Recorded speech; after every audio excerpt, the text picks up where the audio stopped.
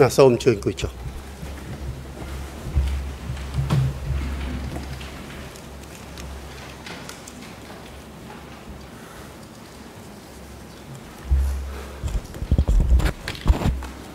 អង្គជំនុំជម្រះតឡាការកពូលសូមប្រកាសបន្តសវនាការហើយអឺជាបន្តទៅនេះគឺ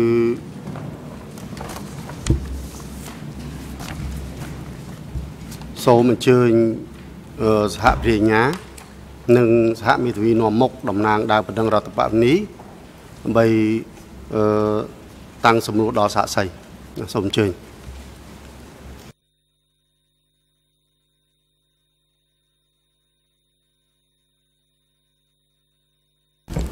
Merci, Monsieur le Président. សូមគុណសូមអរគុណអាដាមប្រធាន Monsieur le Président, vous aviez évoqué Euh, le avant Président, la coupure la មុន possibilité ពេល de me ជប់ redonner សម្រាប់អាដាម la ប្រធានបាន parole បញ្ជាក់ថាប្រហែលជាអាចអនុញ្ញាត quelque ឲ្យ temps. ខ្ញុំ Je សួរ constate បន្ត que ក្នុង vous ពេល donnez directement មួយ euh, ចំនួនប៉ុន្តែប៉ុន្តែឥឡូវនេះលោកប្រធានបានជាឲ្យខាង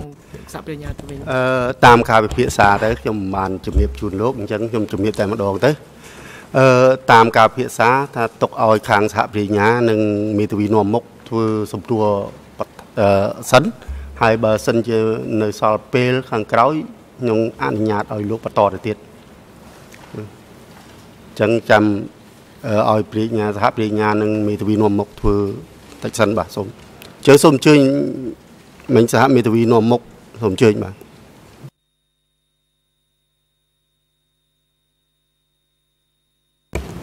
Je vous remercie, Monsieur le Président. Je cède la parole à mon ខ្ញុំសូមអនុញ្ញា confrère ត Hong ប្រគ Kim ល់វេ Soon. ទិកានេះជូនសហភាពតារបស់ខ្ញុំគឺលោកមេធាវីហុងកឹមសួន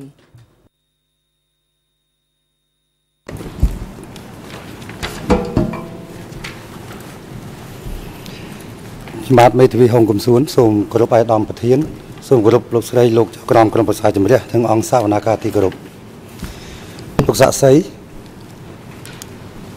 ខ្ញុំមានសំណួរខ្លះខ្លះសួរទៅលោកបន្ថែមលើសំណួរដែលខាងមេធាវីការពីក្តីបានសួរពីព្រឹកមិញបញ្ជាក់បន្ថែមបន្តិច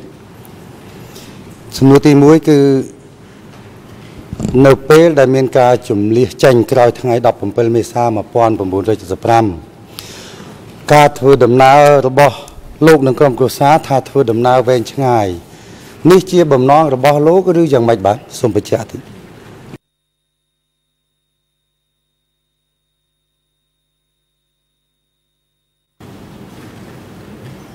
បាទខ្ញុំបាទសូមគោរពនឹងឆ្លើយនៅសំណួររបស់លោករិញ្ញាអឺការធ្វើដំណើរវែងឆ្ងាយនេះ វាមិនមែនជាគំនិតរបស់ក្រុមគ្រួសារទេវាជាគោលការណ៍របស់ថ្នាក់ដឹកនាំសម័យនោះសូមសូមលោកបញ្ជាក់ឲ្យច្បាស់ថ្នាក់ដឹកនាំសម័យនោះចង់សំដៅទៅលើសម័យណាមួយបាទ យើងក្រោយចិត្តអឺឆ្នាំ75នេះយើងត្រូវបានជំលះក្រោមការគ្រប់គ្រងរបស់អឺប៉ុលពតអញ្ចឹងហើយគោលការណ៍នេះខ្ញុំជឿថាវាជាគោលការណ៍របស់អឺប៉ុលពតដែលបានចាត់ធានការឲ្យយើងជលះចេញពីមូលដ្ឋានទៅកាន់ទីព្រៃភ្នំ បាទសូមអរគុណសូមខ្លីៗបានហើយព្រោះខ្ញុំក៏មានពេលខ្លីដែរបាទព្រោះលោកបានបញ្ជាក់ព្រឹកមិញច្រើនតើនៅតាមផ្លូវធ្វើដំណើរហ្នឹងលោកមានឃើញទស្សនភាពមនុស្សដែលធ្វើដំណើរជាមួយលោកហ្នឹងយ៉ាងម៉េចខ្លះដែរមានចាស់ក្មេងស្ត្រីអីហ្នឹងមានជួបតាមផ្លូវលោកឃើញយ៉ាងម៉េចដែរអាចពីជម្រាបជូនបានទេបាទខ្ញុំអាចជម្រាបជូនបានថា នៅពេលដែលរំដោះចេញពីមូលដ្ឋាន ពីផ្ទះសម្បែងទៅនេះគឺគឺចេញទៅទាំងអស់ទាំងកូនង៉ែតកូនងាក្មេងចាស់ប្រុសស្រី យើងធ្វើដំណើរសន្សំសន្សំអត់មានពេលអឺលឿនទៅមុខបានទេព្រោះមនុស្សកុសកតាមដងផ្លូវដែលត្រូវធ្វើដំណើរនោះអញ្ចឹងហើយมันអាចលឿនបានទេ ចេះចេះសូមកាត់ប្រសាសន៍ទៅសំណួរខ្ញុំសួរថាលោកមានឃើញទស្សនភាពនៅតាមផ្លូវហ្នឹងមនុស្សធ្វើដំណើរហ្នឹងមានអ្នកណាកើតអីខ្លះទេតាមផ្លូវដូចខ្ញុំចង់ដឹងកន្លែងហ្នឹងបាទ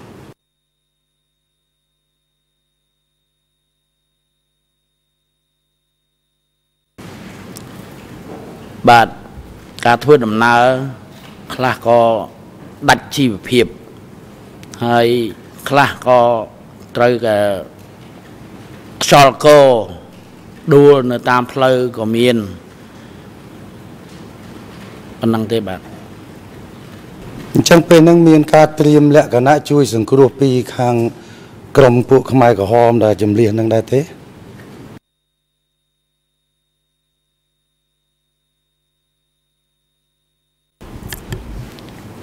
បាទពេលនោះដូចជាអត់មានទេ មានតែការជំរុញឲ្យលឿនលឿនទៅមុខ ហើយការចលះមានពេទ្យមានអីតាមជួយតាមដងផ្លូវហ្នឹងគឺគ្មានទេបាទសូមអរគុណឥឡូវនេះដោយសារព្រឹកមិញលោកបានឆ្លើយជូនអង្គសាវនាការច្រើនហើយខ្ញុំសូមឈានទៅដល់តើតើជាមួយការធ្វើដំណើរចុះពីភ្នំជំរាយមកវត្តច្រកស្ដាច់វិញលោកមានប្រសាសន៍ព្រឹកមិញថានៅទីនោះមានប្រជាពលរដ្ឋរាប់ពាន់នាក់ឬក៏ច្រើនរយគ្រួសារហើយ ពេលនោះហើយដែលថាលោកដាច់ស្បៀងពួកក្រុមឆ្លប់នៃពួកក្រុមខ្មែរក្រហមហ្នឹងគេប្រកាសមីក្រូស្វែងរកអ្នកណាធ្វើជាធ្លាប់ធ្វើជាអតីតទាហានលន់នល់ឬអ្នករដ្ឋការលន់នល់អញ្ចឹងតើពេលហ្នឹងមានមនុស្សច្រើនទេដែលទៅចោះឈ្មោះថាខ្លួននឹងជាប់និន្នាការឬចង់ត្រឡប់មកធ្វើការក្នុងរបបដូចដូចដើមវិញនោះមានមនុស្សច្រើនទេ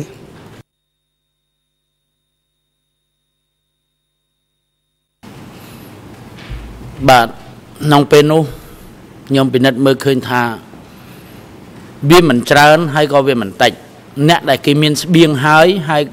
ក៏គេមិនទៅទទួលយកស្បៀងហើយអ្នកដែលគ្មានស្បៀងដាច់ស្បៀងត្រូវទៅចោះឈ្មោះទទួលយកស្បៀងបាទសូមអរគុណចង់ចង់សួរលោកចេះដែលថាព្រឹកមិញសំណួររបស់ខាងមេធាវីការពីក្តីសួរអំពី អ្នកដែលទៅចោះឈ្មោះហ្នឹងដែលអះអាងអំពីថាជាប់នៅនៃការធ្វើជាអតីតទាហានរបបលោកលន់ណុលឬក៏រដ្ឋការក្នុងរបបលោកលន់ណុលហ្នឹងណាថាតើមានការទៅទៅទៅចោះឈ្មោះវាវាចំនួនដណ្ដើមគ្នាមានអ្នកព្រឹកមិញឬសូថាអ្នករត់ទុកទុកឬអ្នករត់ស៊ីក្លូជាដើមអញ្ចឹង អាហ្នឹងដែលខ្ញុំចង់ដឹងថាចំនួនដែលទៅហ៊ានលោកចំណាំបាន និងប្រជាពលរដ្ឋហ្នឹងតើវាមានចំនួនខុសគ្នាច្រើនតិចយ៉ាងម៉េចដែរ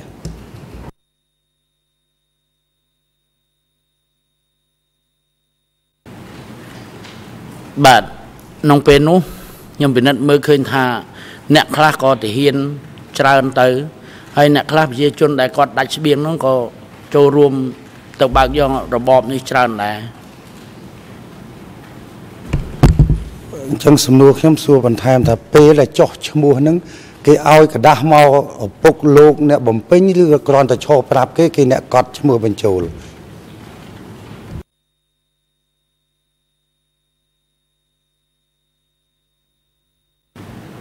បាទពេលនោះខ្ញុំដើរពីក្រោយគាត់ទៅដែរគាត់បានទៅចុះឈ្មោះនឹងគេដោយសារគេសួរយកតែអឺក្រុមគ្រួសារនឹងទេ គេសួរថាលោកធ្វើទាហាននៅណាអញ្ចឹងមានកូនប្រមាណអ្នកប្រពន្ធមួយប្រពន្ធកូនប្រមាណអ្នកហើយអញ្ចឹងគេចែកអង្គហ្នឹងទៅតាមរបបមនុស្សហ្នឹងបាទសូមអរគុណអញ្ចឹងបន្ទាប់ពីចុះឈ្មោះបានកោហើយលោកបានជម្រាបជូនអង្គសវនាការអំពីពួកឆ្លប់ដែលនាំក្រុមគ្រួសាររបស់លោក រួមទាំងអស់7គ្រួសារទៅឯព្រៃរូងខ្លាចឹងខ្ញុំសូមសួរបន្តិចចូលទៅដល់កន្លែងក្រោយពេលដែលបាញ់សម្លាប់ហើយតែម្ដងចុះព្រោះកុំឲ្យវាសំណួរដដែលដដែលលោកថាពេលដែលពួកខ្មែរក្រហមពួកយោធានឹងបាញ់សម្លាប់ហើយចាប់អូសបច្រាស់ជើងបោះទៅក្នុងរណ្ដៅអាបេហើយលោកត្រូវបានបោះផ្ទប់ទៅចិញ្ចាំងឬក៏ទៅគៀនរណ្ដៅហើយមានសាកសពប្រហែលជា2នាក់នៅនៅសកត អមពីលើលោកលោកថាលួចបើកភ្នែកមើលតិចតិចតែលោកក្រៅពីបើកភ្នែកឬមើលតិចតិចហ្នឹងលោកមានបានលឺសំឡេងឬសំដីពួកទាហានខ្មែរក្រហមដែលបានបាញ់សម្លាប់ហ្នឹងវានិយាយឬវាថាយ៉ាងម៉េចមកមកនឹងទៀតដែរទេ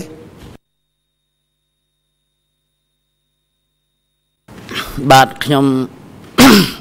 នៅពេលដែលខ្ញុំថាខ្ញុំលួចបើកភ្នែកមើលតិចតិចហ្នឹងគឺគេអត់តន់អូសតម្លាក់ដៅទេ គេបាញ់ងាប់ស្លាប់អស់ហើយហ្នឹងអាក្មេងៗហ្នឹងគេដើរវាយហើយគេស្រែកថាពួកឯងរាល់គ្នានឹងជន់ដើមទ្រូងអញរាប់សិបឆ្នាំមកហើយឥឡូវនេះអញជន់ដើមទ្រូងពួកឯងវិញម្ដងបាទសូមអរគុណអឺអញ្ចឹងសំណួរបន្តទៅទៀតខ្ញុំសួរថានៅពេលដែលលោករត់ចេញពីរណ្ដៅ សាកសពបានហើយជាមួយនឹងបងប្អូន3នាក់ទៀតរួមទៅវា4នាក់ពេលដែលលោកទៅដល់វត្តច្រកស្ដាច់វិញដែលលោកថាមុនពេលដែលមានការភ្ញាក់ផ្អើលបែកខ្ញែកនោះ មានពួកក្រុមពួកអឺយុទ្ធាគេប្រកាសស្វែងរកចាប់ក្មេង4នាក់ដែលជា CER តើពាក្យ CER ហ្នឹងលោកឮសូរផ្ទាល់ឬមួយក៏យ៉ាងម៉េចដែរពេលហ្នឹង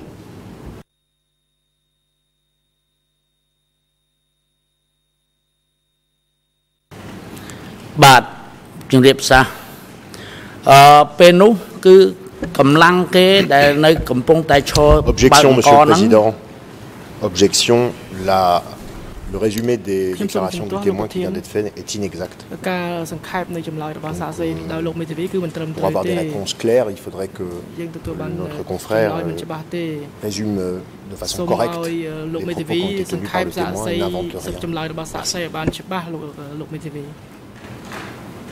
សូមជម្រាបឲ្យដល់ប្រធានពីព្រឹកមិញក៏ខ្ញុំបានបានលើកច្បាស់ហើយថាពេលដែលគាត់មកដល់វត្តចកស្ដេចវិញមានពួកខាងខ្មែរក្រហមគេតាមស្វែងរកកុមារ4នាក់ដែលជា CA អញ្ចឹងខ្ញុំចង់សួរគាត់ទៅវិញថាតើពាក្យថា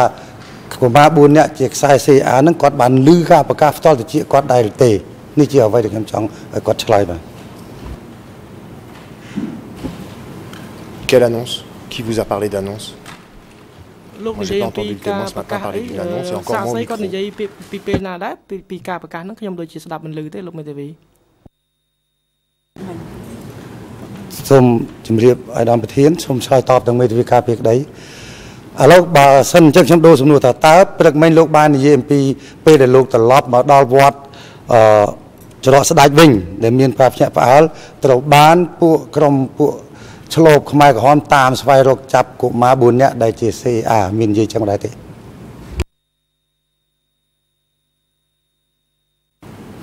បាទព្រឹកមិញនេះតាមការសាកសួររបស់មេធាវីអឺគាត់បានជីកសួរខ្ញុំរឿងហ្នឹងនៅពេលដែលខ្ញុំវិលត្រឡប់មកកាន់វត្តច្រកស្ដាច់វិញនេះ ហើយខ្ញុំបានសុំបាយគេញ៉ាំហើយហើយក៏បានជួបនឹងមិត្តភ័ក្តិរបស់ ឪពុកម្ដាយខ្ញុំគេសួរថាខ្ញុំនេះអឺឪពុកម្ដាយខ្ញុំទៅណាខ្ញុំថាគេយកទៅសម្លាប់ចោលអស់ហើយខ្ញុំបាននិយាយព្រឹកមិញអញ្ចឹង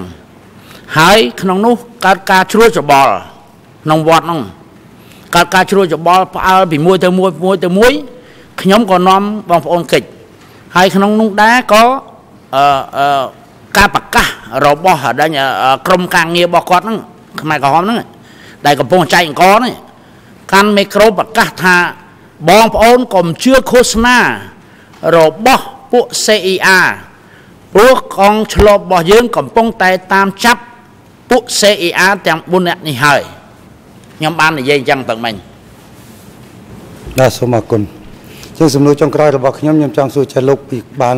ជម្រាបជូនអង្គសវនការព្រឹកមិញថាឪពុកលោកក៏ជាអតីតទាហានក្នុងរបបលោកលន់នល់ដែរ តើលោកនៅចាំបានទេថាការគាត់នៅជាទាហានរបបលោកលន់នល់ហ្នឹងគាត់ពាក់សាក់ប្រមាណដែរទេឋានន្តរស័ក្តិអីដែរបាទ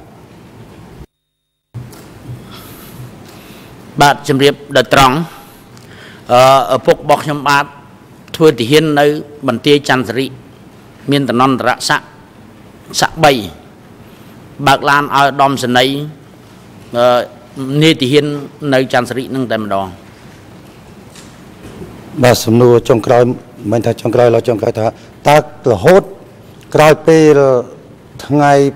5ក្រោយថ្ងៃ6មករា1979លោកដែរបានលើដំណឹងពីឪពុករបស់លោកឡើងវិញដែរទេ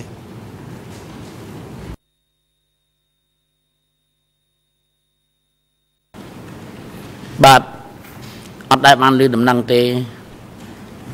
ហើយក៏ខ្ញុំអត់បានស៊ើបសួររកអីដែរព្រោះខ្ញុំឃើញនឹងភ្នែកថាគេយកទៅសម្លាប់ហើយ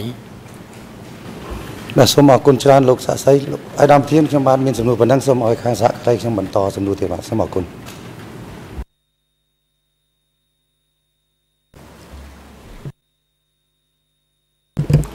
ចាសសូមបអរគុណអាដាមធានសូមគ្រូបាដាមប្រធានអង្គសមាការទាំងមូលសូមជម្រាបសួរលោកសាក់សីខ្ញុំចង់ចាប់ផ្ដើមពីសំណួរមួយហើយខ្ញុំដឹងថាប្រហែលជាវាពិបាកចំពោះលោក កាលពីព្រឹកមិញនេះមេធាវី កាលពីក្តីបាននិយាយថា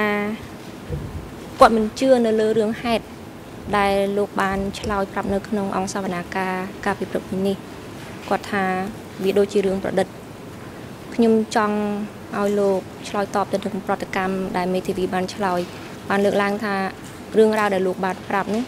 គឺជារឿងប្រឌិតតើលោកមានការឆ្លើយតបយ៉ាងណាដែរចំពោះបញ្ហានេះបាទអរគុណ នឹងសំណួរនេះខ្ញុំគិតថាមេធាវីកាពីក្តីគាត់បាននិយាយចោទប្រកាន់មកលើខ្ញុំថា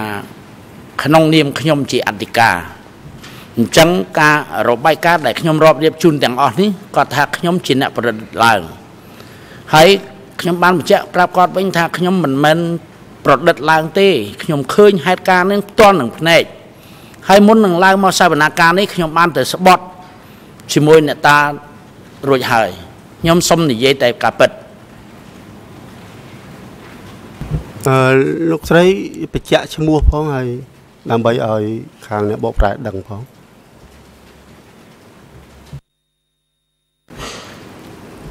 ចាសូមសូមអរគុណលោកប្រធានខ្ញុំជាតំណាងសហប្រញ្ញាជាតិឈ្មោះសុងឆវ័នហើយនៅសល់សំណួរមិនច្រើនទេហើយខ្ញុំនឹងសួរសំណួរបន្ត ចង់ឲ្យលោកបញ្ជាក់ឲ្យខ្លីថារឿងរ៉ាវដែលកើតឡើងចំពោះគ្រួសាររបស់លោកនៅក្នុងហេតុការណ៍ដែលមានការបាញ់សម្លាប់នោះជារឿងពិតឬរឿងប្រឌិត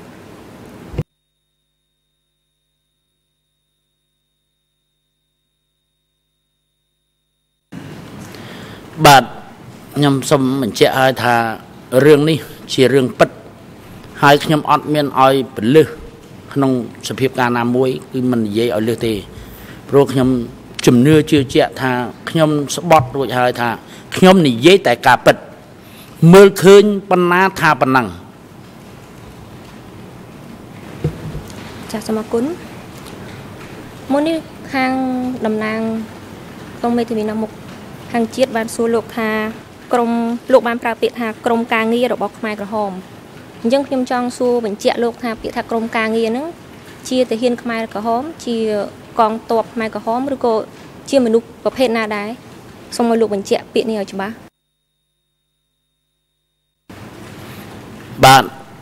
បានជាខ្ញុំហៅថាក្រុមការងារហ្នឹងព្រោះក្រុមហ្នឹងគេកំពុងតែនៅឈរនៅលើវេទិកាហៅថាដេញ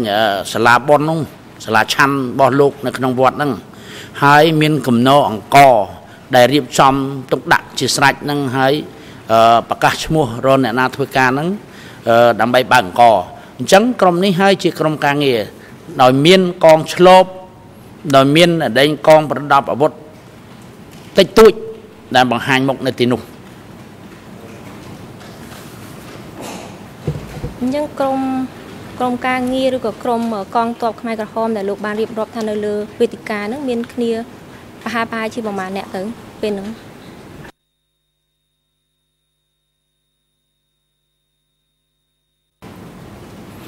បាទវាមិនច្រើនទេ របៀបជាអង្គរៈពី3នាក់សម្រាប់ការពារអ្នកធំនៅទីនោះហើយក្រុមកិច្ចការងារគេហ្នឹងក្រុមការងារគេហ្នឹងនរណាបើកអង្គបើកទៅនរណាស្រង់ឈ្មោះស្រង់មក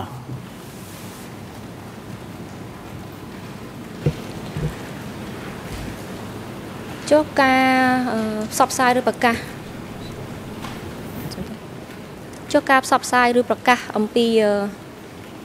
ដល់ប្រជាពលរដ្ឋនៅពេលហ្នឹងតើគេធ្វើសកម្មភាពអីគេខ្លះដែរហើយបើសិនមកលោកអាចចាំបានតើពេលហ្នឹងគេប្រើពាក្យពេចន៍ឬក៏សម្ដីយ៉ាងណាដែរដើម្បីប្រកាសប្រមូលប្រជាពលរដ្ឋហ្នឹងបាទពេលនោះគឺគេប្រកាសសួររអញ្ចឹងគេសួររមន្ត្រីរាជការទាំងស៊ីវិលទាំងយោធាសុំឲ្យមកចុះឈ្មោះបើកអង្គដើម្បី វិលត្រឡប់ទៅបំទៅបំរើការងារនៅកន្លែងដែលវិញ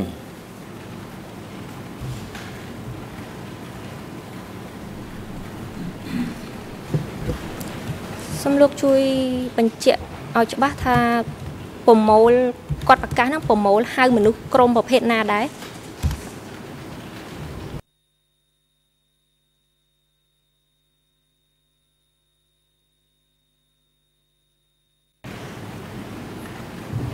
តាមលើការប្រកាសហ្នឹងគឺมันសំដៅតែរកទៅដល់ប្រជាពលរដ្ឋ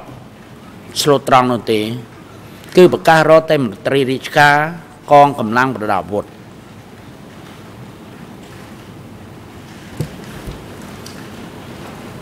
ប្រកាសរកមន្ត្រីរាជការឬកងប្រដាប់អាវុធនៅ ក្នុងរបបមួយណាដែរសូមលោកជួយបញ្ជាក់ឲ្យរឹតតែច្បាស់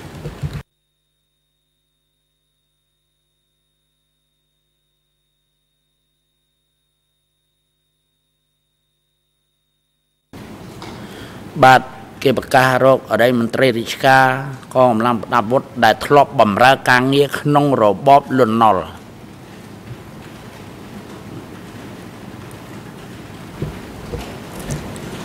លោកប្រធានសូមធ្វើការកត់សម្គាល់តាមភាសាខ្មែរគឺថាក្នុងរបបលន់នល់គេមិនហៅមន្ត្រីរាជការទេ គេហៅមន្ត្រីរដ្ឋការសូមអរគុណ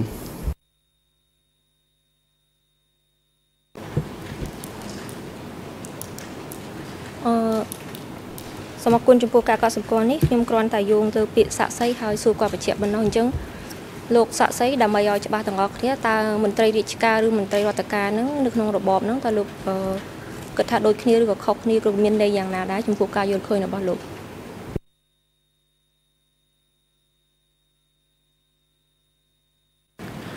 អឺលោកបានឡើង បកស្រាយមិញនេះសួរនាំមិញនេះពិតជាត្រឹមត្រូវហើយខ្ញុំនិយាយនេះគឺនិយាយក្នុងរបបអឺយើងបច្ចុប្បន្នតែរបបលន់ណល់គឺលោកបានដឹងច្បាស់ហើយថា គេមិនហៅអដិញមន្ត្រីរាជការទេបាទអញ្ចឹងខ្ញុំសូមឯកភាពតាមលោក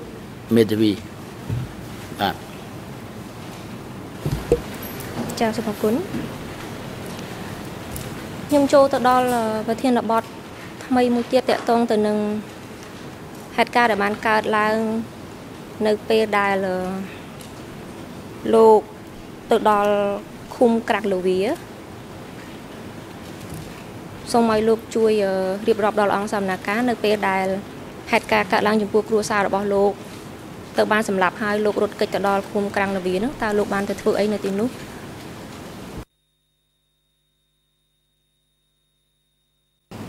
បាទជំរាបសាស្ត្រដែរថានៅពេលដែលយើងបែកគ្នាពីវត្តច្រកស្ដាច់ទៅ គឺគាត់ដឹកនាំជាក្រុមជាក្រុមទៅតាមឃុំបាទទៅតាមឃុំឃុំណាត្រូវទទួលប្រមាណ100គ្រួសារឃុំណាត្រូវទទួលបានប្រមាណ100គ្រួសារអញ្ចឹងគេបំបែកទៅតាមឃុំឲ្យឃុំហ្នឹងគ្រប់គ្រងឲ្យក្នុងសហគមន៍ហ្នឹងចូលក្នុងសហគមន៍ហើយអញ្ចឹងកាលនោះខ្ញុំក៏បានទៅរស់នៅនៅភូមិអូកខុបជាដំបូង ដល់ទៅភូមិអូខុបជាដំបងក្រោយមកគេយកចេញពីភូមិអូខុបមកមកនៅភូមិចន្ទាវច្រែងចេញពីភូមិចន្ទាវច្រែងទៅ បានគេយកទៅឲ្យនៅ ក្នុងសហគមន៍មួយហៅថាសហគមន៍ភូមិក្រាំងលាវាអើភូមិតាំងគ្រោះឃុំក្រាំងលាវា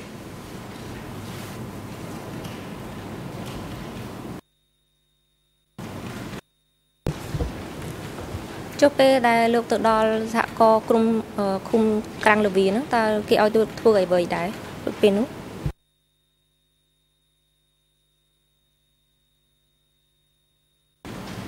បាទនៅពេលនោះខ្ញុំនៅតូច គេបញ្ជូនខ្ញុំទៅមណ្ឌលកុមារគេបញ្ជូនទៅមណ្ឌលកុមារគេឲ្យយើងធ្វើជីរើសអាចគោកាប់ត្រៀងខេត បាទធ្វើជីដើម្បីឲ្យទុកឲ្យដេញអឺអឺកងយុវជនយកទៅដាក់ស្រែ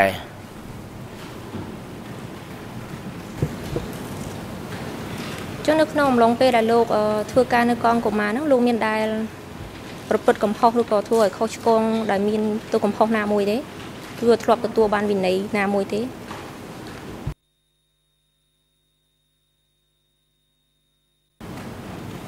បាទมันហ៊ានប្រហែសទេព្រោះយើងដឹងហើយយើងដឹងពីរបបហើយអត់ហ៊ានប្រហែសខ្លួនឲ្យមានទោសមានកំហុសទេ គឺគេប្រើធ្វើអីធ្វើនឹង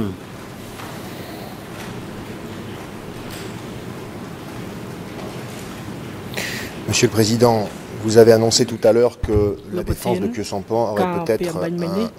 petit moment supplémentaire pour poser des questions s'il restait du temps et je constate que la stratégie bien évidemment des procureurs consiste maintenant à aller sur des terrains qui n'ont absolument aucun rapport avec notre procès. Euh, là vraiment les questions que vous posez sont totalement en dehors du champ du procès. Il me semble évident qu'il s'agit euh, pour euh, l'accusation de gagner du temps et de pousser jusqu'au bout, d'utiliser tout le temps qu'il aurait dû afin que la défense ne puisse pas ensuite continuer à poser des questions au témoin. C'est la raison pour laquelle je m'oppose à ce que euh, l'accusation poursuive dans cette direction. Je vous remercie. លោកមេលោកព្រាញ្ញាសួរបន្តហើយសំណើរបស់លោកមេធាវីតឡាការនៅពិចារណា សសូមអរគុណលោកប្រធានហើយខ្ញុំគិតថាសាប្រញ្ញានឹងខិតខំប្រឹងប្រែងឲ្យអស់លទ្ធភាពដើម្បីសួរសំណួរឲ្យពាក់ព័ន្ធហើយបើសិនបើមេធាវីមិនព្យាយាមកាត់ទេប្រហែលជាយើងអាចនៅសល់ពេលខ្លះអឺ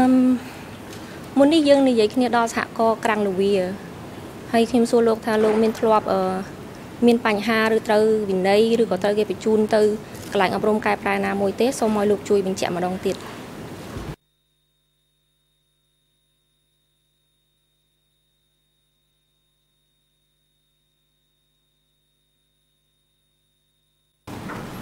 បាទជម្រាបជូនដែរថាខ្ញុំក្រោយពេលមានសហគមន៍នៅហើយនោះខ្ញុំបានប្រាប់បងប្អូនទាំងអស់ថាឲ្យខិតខំប្រឹងប្រែងធ្វើការកុំឲ្យខុសនឹងគោលការណ៍របស់អង្គការចំនួននោះព្រោះចំនួននោះបើតាខុសគោលការណ៍គឺយកទៅដាក់អឺពិន័យហើយហើយក៏អាចឈាននឹងយកទៅសម្លាប់ចោល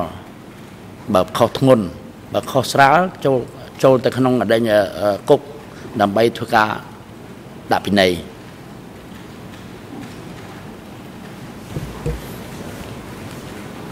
ហេតុអ្វីបានជាលោកណែនាំបងប្អូនរបស់លោកឲ្យខិតខំធ្វើការឲ្យខ្លាចត្រូវវិន័យធ្លាប់មានបទពិសោធន៍ឬក៏ជួបព្រឹត្តិការណ៍ហេតុការណ៍ណាកើតឡើងដែរ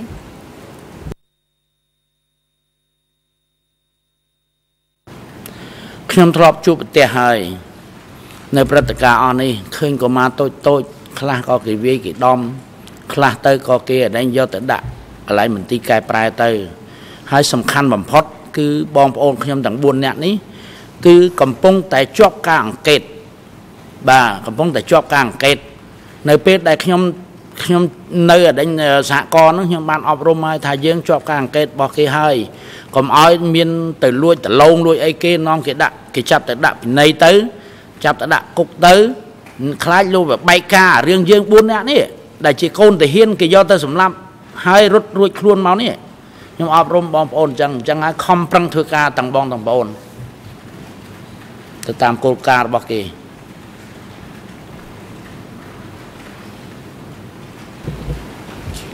ចាលោកសាក់សីនៅក្នុងកណត់ហេតុស្ដាប់ចម្លើយរបស់លោកជាមួយនឹងអ្នកស៊ើបអង្កេតនៃការិយាល័យសហជីវកម្មស៊ើបអង្កេត គឺឯកសារអឺ3លើ5201នៅត្រង់ EN ជាភាសាខ្មែរគឺ0021 21 22ដល់23និង EN ជាភាសាអង់គ្លេសគឺ00 27 51 40ដល់41 EN ជាភាសាបារាំងគឺ00 27 51 46ដល់47 លោកនិយាយដល់មន្ទីរ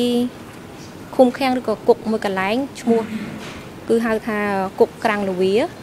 ហើយមិញនេះយើងកំពុងពិភាក្សាគ្នានៅសហគមន៍ក្រាំងលវាអញ្ចឹងខ្ញុំចង់ឲ្យលោករៀបរាប់អំពីព្រឹត្តិការណ៍ដែលលោកនិយាយដល់គុកក្រាំងលវាដែលលោកធ្លាប់ជួបបទពិសោធន៍ដោយផ្ទាល់នោះ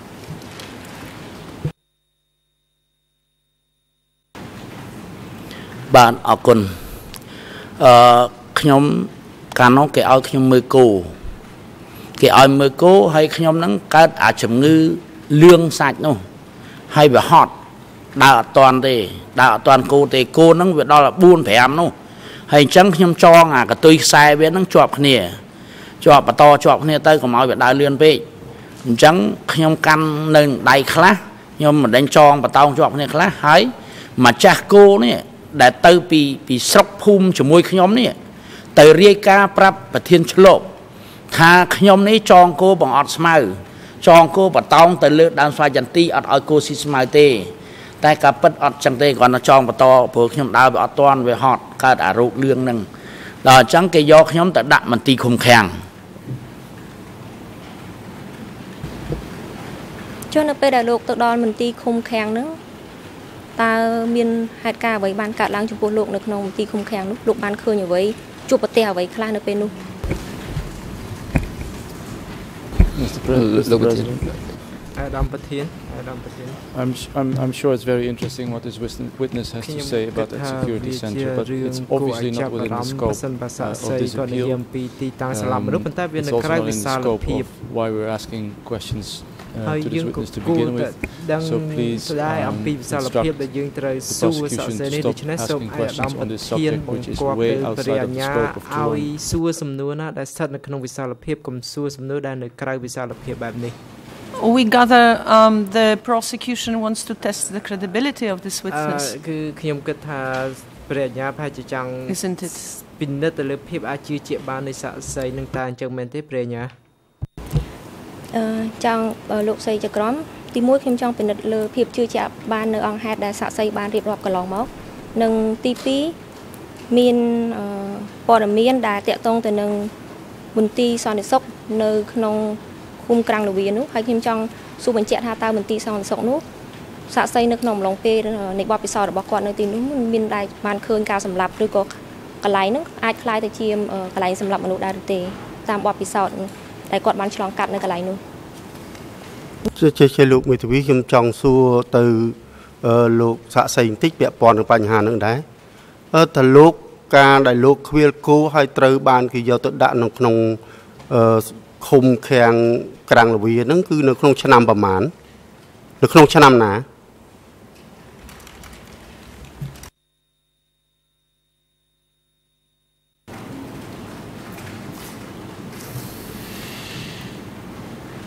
យើង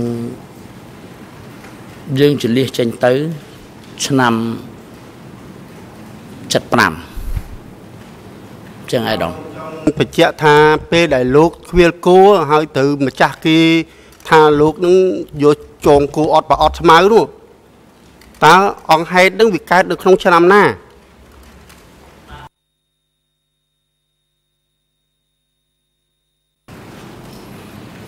អង្គហេតុនឹងកើតនៅក្នុងក្នុងឆ្នាំ75ហ្នឹងហើយអាដាមសូមអញ្ជើញលោកមេធាវីបន្តចាសូមអរគុណលោកអឺស័ក្តិសិទ្ធិខ្ញុំនឹងចាប់ផ្ដើមសួរបន្តទៀតអឺមិញនេះខ្ញុំសួរលោកថាតើនៅពេលដែលលោក Excusez-moi, je suis vraiment désolé. Juste pour dire que ce centre de sécurité n'est même pas dans l'ordonnance de clôture. C'est même pas dans l'ordonnance de clôture. C'est encore moins dans le champ du premier procès. Je ne vois pas pourquoi est-ce que le procureur pourrait aller poser des questions pendant des heures sur un endroit euh, qui n'est nulle part dans ce dossier.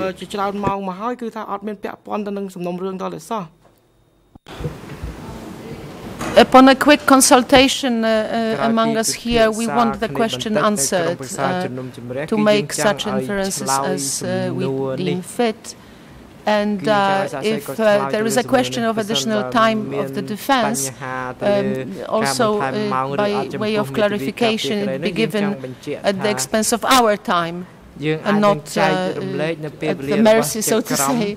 of the uh, prosecution and the civil parties who of course are invited to exhaust their time in such a way as uh, uh, they seem conducive to, to ascertaining the truth within, within, um, within uh, the directives obviously ដូច្នេះគឺយើងអាចអនុវត្តតាមវិធីសាស្ត្រនេះបើសិនបើជាបញ្ហាខ្ញុំខ្ញុំគិតថាបើសិនបើអង្គជំនាញមានសន្តានចិត្ត ដល់មេធាវីដូចនេះប្រហែលជាមិនមានការកាត់ផ្ដាច់ញឹកញាប់ដូចនេះទៀតទេសូមទោសលោកសាក់សីខ្ញុំត្រឡប់មកនិយាយជាមួយលោកពីប្រធានបទគឺមន្ទីរសន្តិសុខដែលលោកបានឆ្លងកាត់គឺក្រាំងលវានេះដដែលសូមឲ្យលោករៀបរាប់អំពីស្ថានភាពនៅពេលដែលគេយកលោកទៅដល់ក្នុងគុកក្រាំងលវាហ្នឹងតើមានរឿងអ្វីកើតឡើងចំពោះលោកហើយលោកបានឃើញអ្វីខ្លះនៅពេលនោះ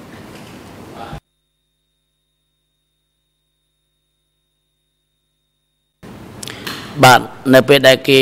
យកខ្ញុំទៅដល់មន្ទីរឃុំឃាំង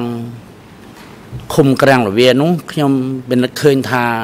មានអ្នកទោសប្រមាណជាង12នាក់ប្រហែល12នាក់ដែលត្រូវអដិញគេដាក់ខ្នោះជើងជាប់នៅនឹងផ្ទះមួយ ដែលហៅថាផ្ទះមន្ទីរឃុំឃាំងនោះអញ្ចឹងដល់ខ្ញុំទៅក្រោយហ្នឹងគេត្រូវកាស យកអដិញមនុស្សចាស់ហ្នឹងយកទៅដាក់ឲ្យជាប់ជាប់គ្នាទៅ គេដាក់ខ្ញុំនៅចុងបាទដាក់នៅចុងព្រោះអាវងខ្នោះហ្នឹងគេធ្វើអំពីឈើហើយគេដោតដែកកដាលដើម្បីខ្ទាស់កុំឲ្យយើងដកជើងរួចចឹងហើយគេយកខ្ញុំទៅដាក់អាប្រឡោះតែគេគេគេលាក់ទៅបន្តូចជាងគេហ្នឹងគេយកខ្ញុំទៅដាក់អាប្រឡោះហ្នឹងគេកាសមនុស្សចាស់ហ្នឹងឲ្យទៅអាអាម្លុកអីវងធំ ចឹងខ្ញុំក៏នៅជាមួយគាត់ហ្នឹងរហូតដល់មួយពួកគាត់ហ្នឹង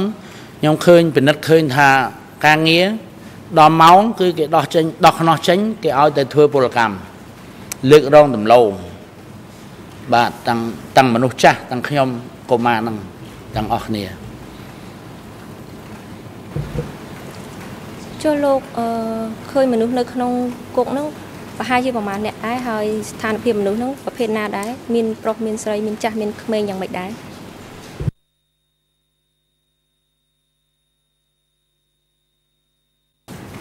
បាទពេលនោះគឺខ្ញុំក្មេងជាងគេហើយហើយមនុស្សចាស់ក៏អត់មានស្រីដែរសិតតែមនុស្សប្រុសប្រហែលស្មើនឹង10ទៅ12នាក់ ចាគុណហើយលោកបានជាប់នៅក្នុងគុកនោះរយៈពេលប្រហែលដែរ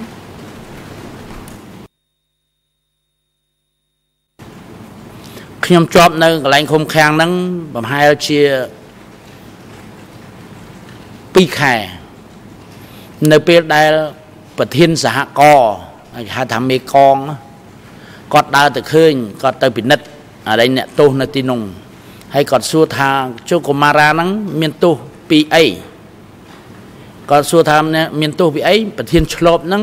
គេឆ្លើយប្រាប់ថាខ្ញុំនេះមានទោសពីចងគោបង្អត់ស្មៅដល់អញ្ចឹងប្រធានសហគរណ៍នោះគាត់បានបញ្ជាឲ្យមេឆ្លប់ហ្នឹងដោះខ្ញុំចេញមកបាទដោះខ្ញុំចេញមកគាត់យកទៅជាមួយទៅយកខ្ញុំទៅជាមួយយកខ្ញុំទៅឲ្យមើលគូរបស់គាត់បាទហើយគាត់ស្នាក់នៅ នៅនឹងនឹងផ្ទះជាមួយអដេញមេសហគមន៍ហ្នឹងទៅមេឃុំហ្នឹងទៅចាអរគុណលោកសាក់សេអឺលោកប្រធានខ្ញុំអស់សំណួរសូមផ្ទេរវេទិកាឲ្យទៅតំណាងសហប្រញ្ញាអន្តរជាតិសូមអរគុណលោកប្រធានបាទសូមអញ្ជើញ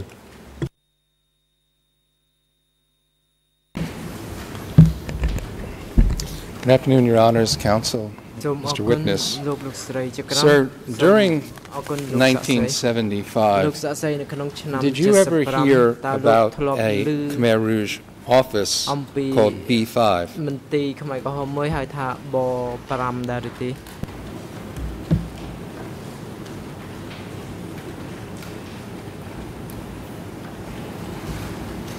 បាទខ្ញុំនៅតូចខ្ញុំដើរមើលគោ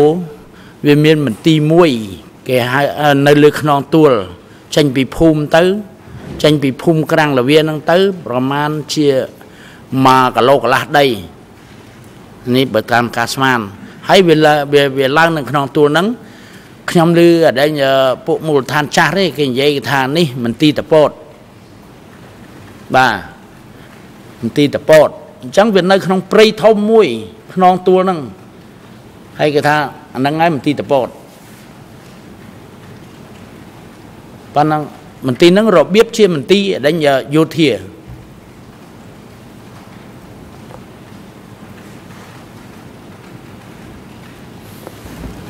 Which commune was that in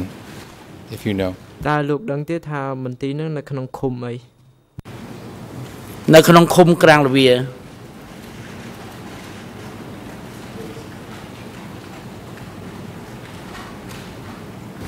Well forgive my lack of knowledge of the geography of the area. How close was that to PM ខ្ញុំមិនដឹងអំពីទីតាំងភូមិសាស្ត្រនៅវៀតនៅនៅកម្ពុជាប៉ុន្តែចង់ដឹងថាតើឃុំនឹងឆ្ងាយពីពីឃុំញៀនប៉ុន្មានគីឡូម៉ែត្រដែរដូចអត់មានរែងឈ្មោះឃុំញៀនហ្នឹង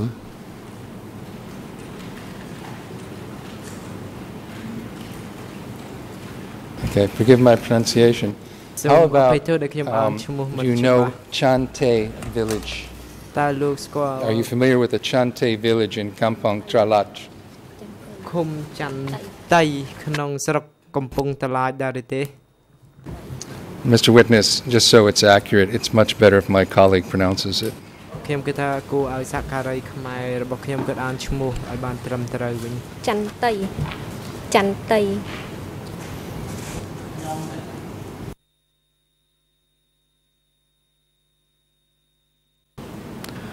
និយាយជារួមការសម័យនោះអ្នកណានៅតាណានៅតាហ្នឹងហើយมันអាចដើរឆ្លង ពីភូមិមួយទៅភូមិមួយបានទេ ហើយឈ្មោះឃុំចន្ទៃហ្នឹងក៏ដោយអត់ដែលឮដែរ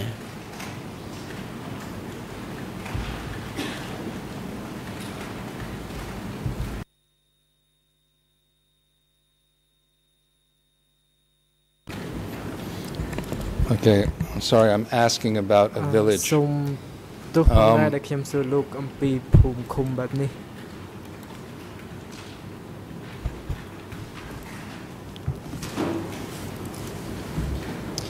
Let me have my colleague pronounce another location. ឥឡូវនេះខ្ញុំសូម I don't want to ask you if you're familiar with this ខ្ញុំ location. គាត់សួរលោកអំពីឈ្មោះតំបន់សិនហើយខ្ញុំនឹងសួរបន្តពីគាត់លោកប្រធានខ្ញុំសូមធ្វើការកត់សម្គាល់ដោយសារសហប្រញ្ញាហាក់ដូចជា កំពុងប្រើប្រាស់នៅឯកសារណាមួយទាក់ទងនឹងផែនទីនេះដូច្នេះសូមឲ្យសហប្រញ្ញាបង្ហាញពីឯកសារយោងពាក់ព័ន្ធទៅនឹងចំណុចដែលលោកត្រូវលើកនេះផងបាទសូមអរគុណ Thank you. I'd be happy to. The reason I'm asking these questions is reading the testimony of Nun Chia. It's document E1 slash 14.1. At English, the ERN is 007-56159. In Khmer, it's 007-55354. And in French, the ERN is 007 56300. Mr. President, um, not only is that a document that you um, forbid to use នេះមិនត្រឹមតែជាឯកសារដែលអង្គជំនុំជម្រះហាមឃាត់នោះទេប៉ុន្តែវាជាការសួរអំពីមន្ទីរសម្ងាត់ របស់បកគមនីកម្ពុជាគឺមន្ទីរព5 to even begin to think that this witness at 14 year old would know anything intelligently គិតថាយើងមិនអាចសុំបីថាសម័យក៏គិតថាសាក់សីដែលមានអាយុ14ឆ្នាំនៅពេលនេះក៏អាចដឹងពីបញ្ហានេះទេសាស្ត្រាចារ្យ bring up the document council asked me for the reference ខ្ញុំសូមឆ្លើយតបគឺថាខ្ញុំនឹងលើកយកឯកសារដែលមេធាវីកាពីក្តីនិយាយអំពីនេះព្រោះថានួនជាគាត់បានដល់អំពី where the party leadership was in April 1975ហើយនេះគឺជាមន្ទីរនៅក្នុងតំបន់នៅក្នុងឆ្នាំ75 has spoken about ហើយមន្ទីរនេះគឺនិយាយអំពីការសម្លាប់រង្គាលនៅ តំបន់ដែលដែលសាកសីបាននិយាយហើយខ្ញុំគិតថា My question to this witness is directed at how that location is, where is it located in relation to what happened to him, in particular in relation to the Chak Sadek PM, uh, the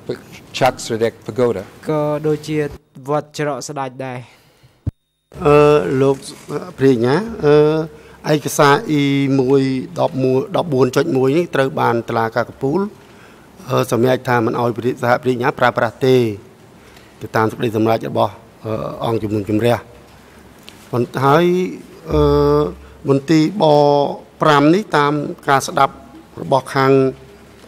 សាក់សីបានលើកឡើងនោះគឺថាមន្ទីរហ្នឹងវាមានជាប់ពាក់ព័ន្ធនឹងវិសាលភាពនឹងដែរទេ ដែលលោកចង់សួរទៅសាក់សីហ្នឹងហើយតាមខ្ញុំមើលទៅដូចជានៅក្នុងមន្ទីរប5ហ្នឹងដូចជាវាអត់មានជាប់ពាក់ព័ន្ធទេឬយ៉ាងណាដែរលោកលោកមេធាវីអាចបញ្ជាក់បន្តិចបានទេបញ្ញាលោកបញ្ញា Yes thank you Your Honor Your Honor, it wasn't my plan to put the document either before Your Honors or before the witness at this hearing. However, it is testimony from case 2.2. This witness has talked about what happened at a pagoda called Sadak. In his testimony in this very trial, Nun Chia talked about Pol Pot and the party secretary had to move.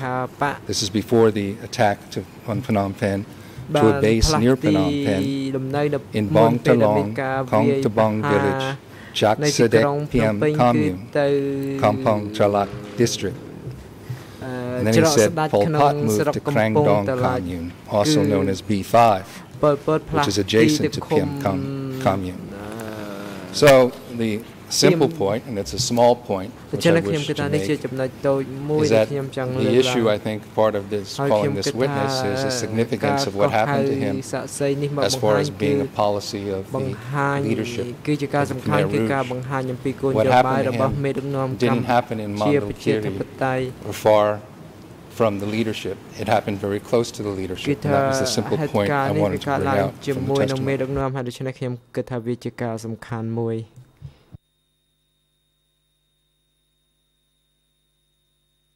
Mr. Prosecutor, would you mind repeating the um, uh, the uh, document number? តើលោកអាចអានលេខឯកសារម្ដងទៀតបានទេ number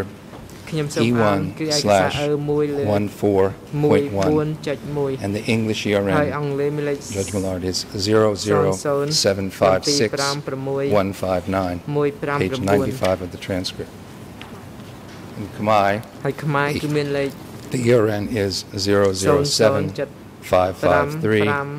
5 4 5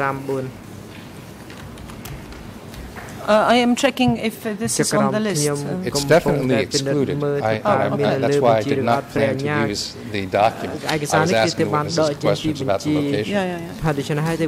yeah. It's excluded on your document decision. គឺថាវាត្រូវបានដកចេញពីសេចក្តីសម្រេចដកឯកសាររបស់អង្គជំនុំជម្រះតុលាការកំពូលរួចទៅ Not including the page number So the relevance uh, the relevance of uh, this question is uh, for another case តើវាសំខាន់ចំពោះសំណុំរឿងដទៃទៀតទេ The relevance of the question is to case 21ព័ន្ធគឺពាក់ព័ន្ធទៅនឹងសំណុំរឿង002/0 whether this location that Chia said the leadership was at នេះគឺដូចជានិយាយថា in relation to what happened to this witness គឺតើទីតាំងរបស់មេដឹកនាំនោះវាអាចពាក់ព័ន្ធទៅនឹងអ្វីដែលកើតឡើងជាមួយសាក្សីដែលក៏ឧទាហរណ៍ដូចជាការផ្ដល់ប្រវត្តិរូបរបស់ did you relate earlier to uh, Nunchia's uh, statement in case 2 slash 2? No, this is 2 1. He hasn't, he hasn't given any statement in 2 2. This is in case 2 1. Then, then, then you misspoke. I apologize. Okay. Uh,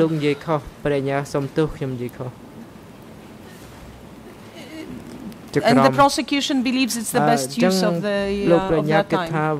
លោកនិយាយខុសបរិញ្ញាសុំទោសខ្ញុំនិយាយខុស And the prosecution believes it's the best use of the uh, of that time. លោកបានប្រើប្រាស់ពេលវេលាលោកឲ្យ certainly didn't think it would take this amount of time but it's uh, all I want to ask the witnesses about this location and how it relates to the uh, place the pagoda where people were forced to register or at tricked into register ចុះបញ្ជីគឺបានន័យថាជាទីតាំងវត្តដែលគេបើកបញ្ឆោតមនុស្សឲ្យទៅកា ត់ត្រាធ្វើប្រវត្តិរូបនោះ Then we'll allow it ចក្រមអញ្ចឹងយើងអនុញ្ញាតប្រសិនបើលោកមានហេតុផលជឿជាក់ថាសាក្សី that the witness uh, has knowledge អាចដឹងអំពីចំណុចនេះ Mr Witness my question now is simply in relation to location of the pagoda that you mentioned where people were asked to register for rice. So my colleague is going to read out a location and first tell us are you familiar with this location?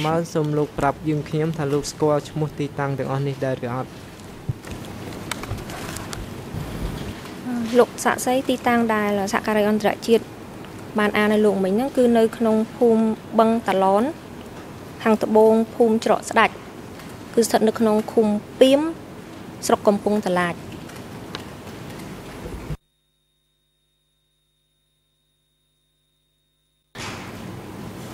បាទពីដើមវាមានកំពង់តឡាចនេះវាពីរកំពង់តឡាចលើកំពង់តឡាចក្រោមហើយដល់មកបច្ចុប្បន្ននេះអឺតំបន់នេះគឺស្រុកសាមគ្គីមានជ័យបាទបើរាប់ពីស្រុកសាមគ្គីមានជ័យ ខ្ញុំស្គាល់តែដល់រាប់កំពង់តឡាចលើកំពង់តឡាចក្រោមនោះខ្ញុំគាត់ដឹងថាខាងកើតផ្លូវជាតិកំពង់តឡាចក្រោមហើយខាងលិចផ្លូវជាតិកំពង់តឡាចលើប៉ុណ្ណឹងទេ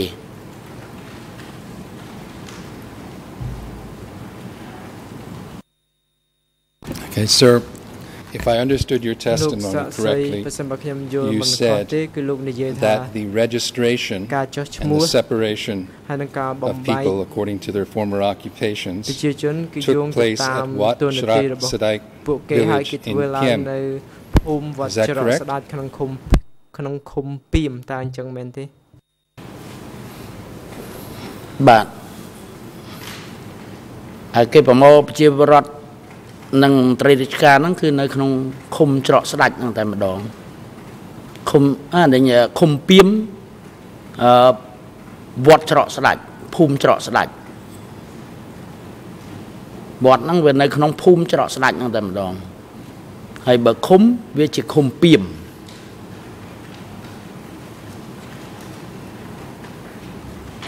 So where this location where this registration took place was in the very Tropsadike village that my colleague just read to you that location. It was in the same village. Is that correct? នៅខុសគ្នាតើវាមួយណាដែលត្រឹមត្រូវបាទដែលការដែលខ្ញុំទៅចោះឈ្មោះហ្នឹងគឺនៅក្នុងវត្តច្រកស្ដាច់ហ្នឹងតែម្ដងអាហ្នឹងគេ មកបច្ចុប្បន្ននេះភូមិច្រកស្ដាច់ឃុំពីមអឺឈ្មោះនៅបច្ចុប្បន្ននេះក្នុងស្រុកសាមគ្គីមានជ័យ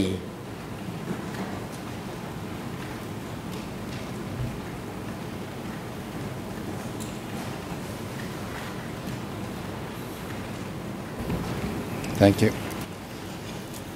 Sir, I know you're uh, probably tired, but I'd like to take you back to the 17th of April 1975 and ask you to tell us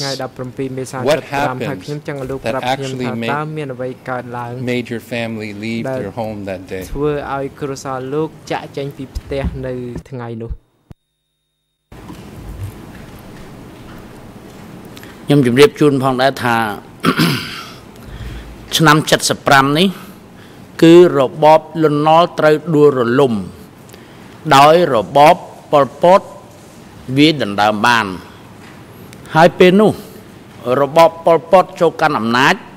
គឺត្រូវជន្លៀសប្រជាពលរដ្ឋចេញពីផ្ទះចេញពីផ្ទះសម្បែងរបស់ខ្លួន ដោយបំភ័យថាបើមិនចេញទេយន្តហោះអាមេរិកកាំងមកទម្លាក់ក្របបែកកំតិចនៅទីនេះឥឡូវហើយ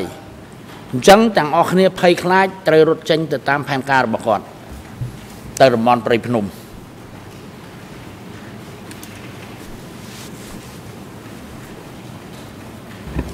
Thank you.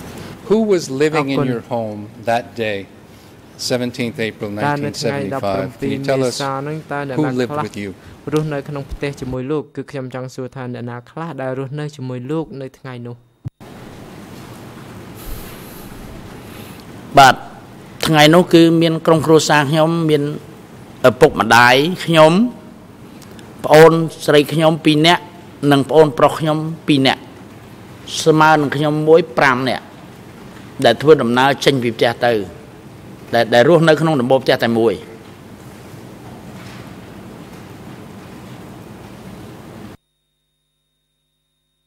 Okay, thank you. And these, by the way, the people that you referred to as your cousins, the other survivors, can you describe your relationship to them? Uh, when you say cousins, sometimes people mean different things. គាត់នឹងតើលោកមានទំនាក់ទំនងជិតស្និទ្ធឬក៏យ៉ាងម៉េចដែរជាមួយគ្នាលោកអាចរៀបរាប់បានទេបាទអឺឪពុកខ្ញុំត្រូវជាបងបងអស់របស់ ប្អូនដែលម្ដាយឪពុកជាដូនមួយរបស់ខ្ញុំនឹងហើយនៅពេលដែលចន្លះចេញទៅទៅជួបគ្នាតាមផ្លូវហើយក៏នាំគ្នាជាក្រុមហ្នឹងទៅជាមួយគ្នា ទៅស្រុកលើតែម្ដង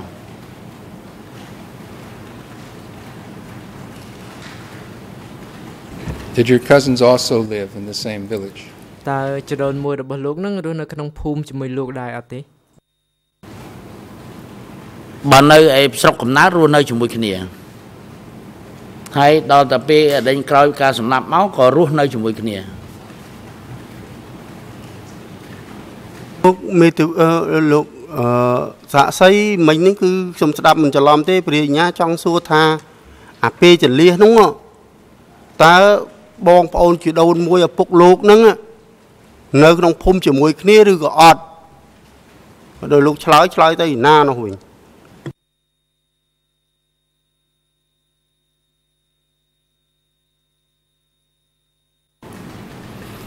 គ្រប់អាដាមធានអឺសំណួររបស់លោកព្រិញ្ញាលោកបានសួរចឹងហើយក៏ប៉ុន្តែខ្ញុំស្មានតែគាត់សួរថា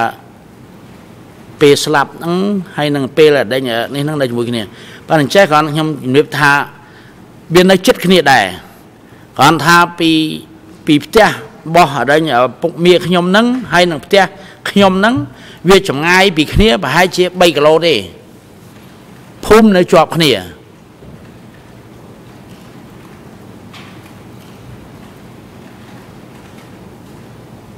Thank you. So, sir, you uh, mentioned that you were people were afraid of bombing. ប្រជាជនខ្លាចការទម្លាក់គ្រាប់បែក American bombing គឺការទម្លាក់គ្រាប់បែក Why was that Did anyone tell you that that was a danger Can you explain ហេតុអ្វីបានជាលោកក៏ដូចជាប្រជាជនខ្លាចតើគេមានធ្លាប់ប្រាប់លោកអំពីគ្រោះថ្នាក់នៃការទម្លាក់គ្រាប់បែកនឹងដែរឬទេបាទសម័យនោះគឺកំពុងតែពេញសង្គ្រាមហើយអឺរវាងអឺ កងទ័ពលន់ណល់និងកងទ័ពខ្មែរក្រហមនេះកំពុងតែពេញសង្គ្រាមនឹងគ្នាហើយ ការបាញ់ផ្លោងការទម្លាក់ក្របបែកគឺមើលឃើញស្ទើរតែរៀងរាល់ថ្ងៃចឹងហើយនៅពេលដែលគេគេគម្រាមថាដេញយន្តហោះអាមេរិកមកទម្លាក់ក្របបែកហ្នឹងវារដ្ឋភ័យហ៎វាមិនទៅនាំគ្នាចេញបាទ Thank you. Uh, when you say you were threatened, did anyone tell you that threat? Did you hear something on the radio? Did someone tell you? Or is this just something you yourself believe? ឬមួយក៏លោកខ្លួនឯងជឿដោយខ្លួនឯងថាដូច្នេះបាទខ្ញុំសូមឆ្លើយនៅសំណួរនេះអឺពីល្ងាចពីព្រឹកពីព្រឹកគឺមានកងទ័ព ខ្មែរក្រហមហ្នឹងដែលប្រើប្រាស់ឯកសណ្ឋានខ្មៅលើស្មៅក្រោមហ្នឹងស្ពាយដោយអាវុធហ្នឹងគេធ្វើព្យុះហិយត្រាចូលទៅក្នុងខេត្តហើយមិនដឹងទៅច្រកណាមកច្រកណាគ្រាន់តែឆ្លងកាត់បាត់ទៅហើយដល់ពេលល្ងាចឡើងប្រលប់ប្រលប់មានកងទ័ពដើរមកប្រាប់តាមផ្ទះហ្មងបាទមានកងទ័ពប្រដាប់ដោយអាវុធដើរមកប្រាប់ក្នុងតាមផ្ទះគៀងឲ្យចេញ បាទដូចអដិញភាពយន្តឯកសារដែលយើងចាក់ពីនៅក្នុងអដិញភាពយន្តអញ្ចឹងដើរមកគម្រាមឲ្យចេញចេញជាមិនតាន់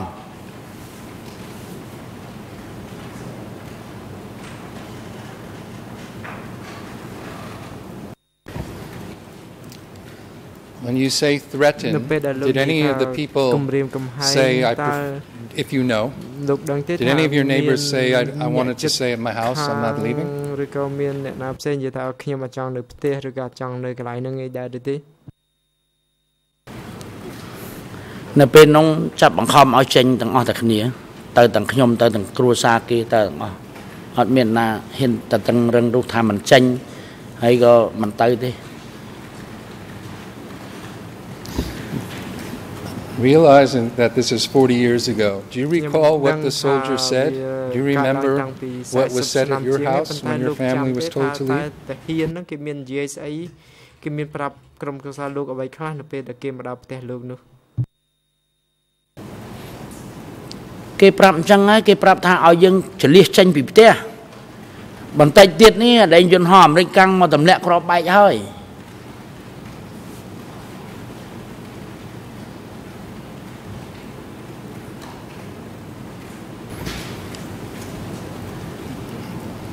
Did your family ask to pack things to bring food ក្រុមគ្រួសារលោកមានសុំគេថាអើខ្ញុំរៀបចំអីវ៉ាន់ខ្ញុំរៀបចំហូបអាហារអីសិនតើក្រុមគ្រួសារលោកមានសុំគេបែបហ្នឹងទេបាទយើងគាត់ថាខ្មែរក្រហមឈ្នះហើយយើងត្រៀមកចបៃឆ្នាំងបាយឆ្នាំងសឡអីហើយអស់ហើយ នៅពេលដែលគេមកគម្រាមឲ្យចេញ គឺប្រមូលយកអាសម្ភារៈហ្នឹងដាក់លើកង់អូសចេញទៅតែម្ដងអត់មានសំបកថាចាំខ្ញុំយកនេះយកនោះអីទេ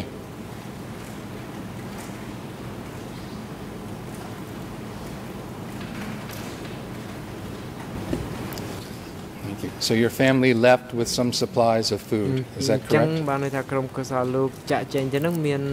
ម្ហូបអាហារស្បៀង អីតាមខ្លួនខ្លះដែរអញ្ចឹងមែនទេបាទមានសំបីតែបច្ចុប្បន្នហ្នឹងក៏ចឹងដែរតែផ្អើម្ដងម្ដងហ្នឹងរហូតតែងៀតទៅឆ្អើអង្គជបៃទុកស្រេចហើយហើយអាជំនាន់ហ្នឹងក៏ចឹងដែរដូចតែគ្នាតែត្រៀមរៀងរៀងខ្លួនហ្នឹងឯង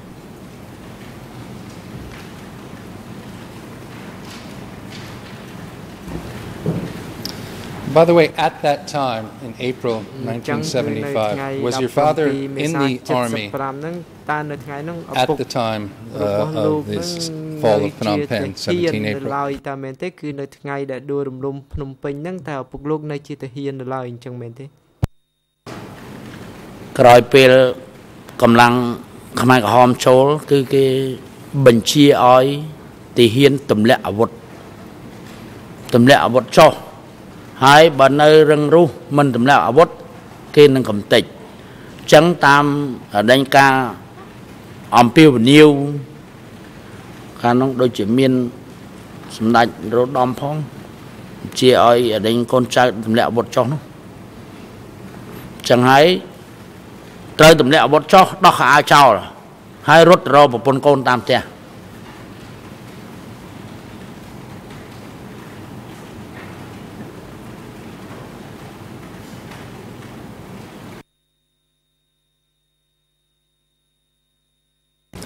Now, when you left your home, did your family have any idea of when you would return? Did anyone tell you, or did you have any plan about when your family would return? Mr. President, um, maybe the prosecution hasn't finished reading our appeal brief, but we don't actually contest uh, the evacuation uh, um, and forced evacuation uh, of any city. Um, we're now one hour and five minutes um, ahead in questioning. Not one question has been asked about why this witness is here. សួរសំណួរដដែលដដែលទៅលើចំណុចខ្ញុំដឹងថាវាអាស្រ័យទៅលើព្រះអញ្ញាក្នុងការប្រើប្រាស់ពេលវេលារបស់គេដែលគេយល់ថាសមស្របប៉ុន្តែ proper time on questioning away from us and I find it ប៉ុន្តែព្រះញ្ញាអ្វីដែលព្រះញ្ញាកំពុងតែធ្វើគឺបានថាព្រះញ្ញាកំពុងតែលួចយើងម៉ោងដែល គេប្រុងនឹងផ្ដាល់ឲ្យមេធាវីការពារក្តីគឺគាត់យកទៅប្រើដោយខ្លួនឯង My understanding is we could ask questions about ដែលខ្ញុំយល់គឺយើងអាចសួរអ្វីក៏បានដែរឲ្យស្ថិតក្នុងពិសាលភាពសំណុំរឿង002 001លោកព្រះញ្ញាសូមអញ្ជើញបន្ត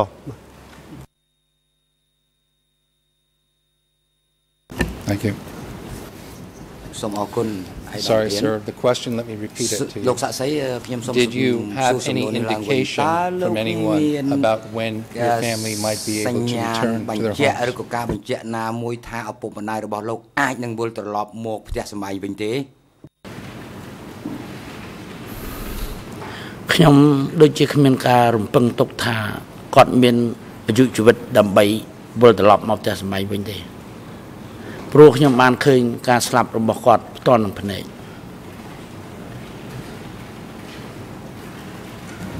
My fault my question I'm sure was not clear to you ប្រហែលជាសំណួរខ្ញុំមិនច្បាស់លាស់ហើយមកទៅនៅពេលដែលគេប្រាប់ soldier came to your house and told you តបខ្មែរក្រហមចូលមកផ្ទះរបស់លោកគម្រាមកំហែងឲ្យលោកចាស់ចេញ given about whether you would be allowed to return and when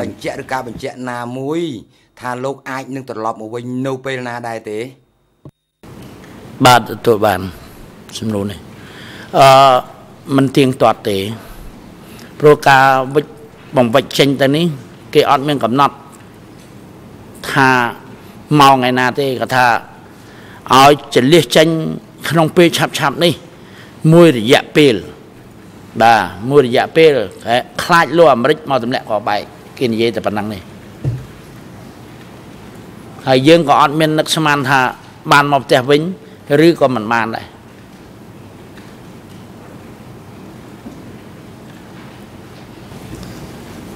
And sir, you said your family walked for quite a few days at a very slow pace. Why was the family moving so slow? You said, I believe this morning, one half to one kilometer per day. អ្វីបានជាក៏ការធ្វើដំណើរនេះយឺតយ៉ាងហ្នឹងព្រឹកមិញនេះលោកបានឆ្លើយថា ដើរមួយថ្ងៃជួនកាលបានត្រឹមតែកន្លះគីឡូឬ1គីឡូដីទេបាទដូចខ្ញុំបានជម្រាបព្រឹកមិញហើយថាមនុស្សវាច្រើនពេកមនុស្សនឹងដើរសឹងថាមកចំហៀងខ្លួនអត់បានដើរតតឹងខ្លួនទៅទេព្រោះវាណែនក្តន់តាន់តាប់ទៅម្ដង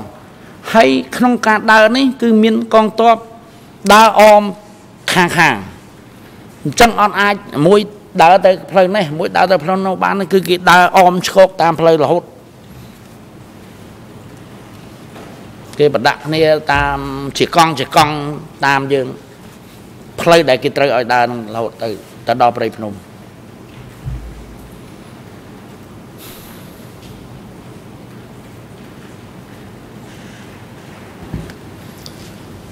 What kind of people did you see on the road in terms of ages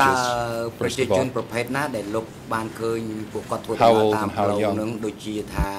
ក្មេងអាយុប៉ុន្មានដែរហើយចាស់នឹងអាយុប៉ុន្មានទៅប៉ុន្មានដែរបាទជារៀបសាថា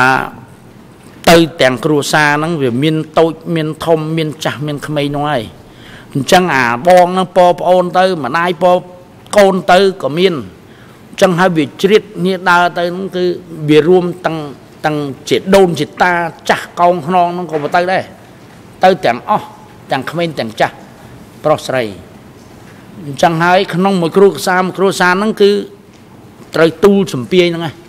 ទូលមកវិចហ្នឹងដើរតាមគ្នាដោយរំកិលបន្តិចម្ដងបន្តិចម្ដងទៅទេអត់មានដើរតាមរបឿនដែលយើងគិតថាចង់ទៅលឿនហើយដែលទៅបានដូចចិត្តទេ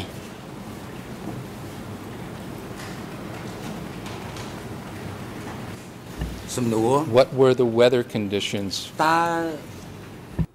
អាកាសធាតុហ្នឹងមានសភាពបែបណាដែរពេលនោះកាសធាតុហ្នឹងវាអាប់អួរហើយប៉ុន្តែនៅពេលដែលយើងធ្វើដំណើរនេះយើងនៅពេលដែលយើងធ្វើដំណើរទៅដល់កន្លែងណាដែលមានទឹកគឺមនុស្សទៅកោនៅត្រង់ហ្នឹងដើម្បីដេញដោះស្រាយដាំបាយដាំទឹក ចឹងទៅមកកន្លែងមកកន្លែងកន្លែងណាមានដងទៅឈប់ទៅហ្នឹងទៅកន្លែងណាមានស្រះទឹកទៅឈប់ហ្នឹងទៅបាយរួចបន្តដំណើរទៅទៀតទៅគេអត់ឲ្យយើងនៅបោះទីតាំងនៅកន្លែងមានទឹកហ្នឹងតំណងទេចឹងវាធ្វើការរំកិលបន្តិចម្ដងបន្តិចម្ដងជារៀងរាល់ម៉ោងលុះតាលុះត្រាតែពេលយប់អាហ្នឹងគេឲ្យយើងសម្រាកនៅនឹងហ្មង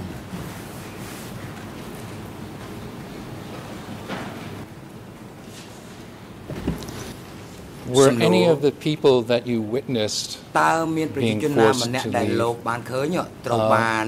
in bad physical condition ឲ្យចាក់ចេញនៅក្នុងសភាពមួយមិនល្អនៅក្នុងស្ថានភាពមួយដែលមិនល្អដែរទេដូចជាអត់ដែរទេពេលនោះវាគ្រាន់តែថាណានាដែលជួបផលលំបាកម្ដាយចាស់ជរាដើមរួចអីហ្នឹង គ្រាន់ថាទៅជ្រកនៅកន្លែងមានទឹកហ្នឹងបាន1ម៉ោង2ម៉ោងអញ្ចឹងទៅដួសទឹកដួសអីដាក់ដបដាក់កដុងអញ្ចឹងទៅ បន្តទៅទៀតទៅអត់មានការដែលគម្រាមកំហែងវាយតប់ជំរុញឬកំហៀមគម្រាមរកបាញ់របស់អីអត់មានទេបាទ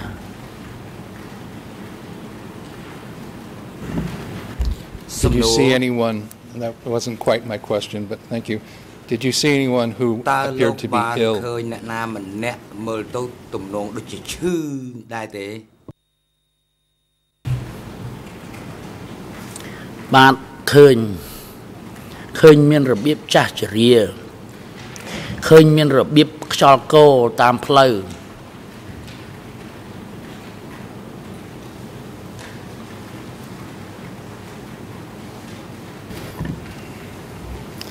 Thank you. Now, you mentioned going for a moment back to the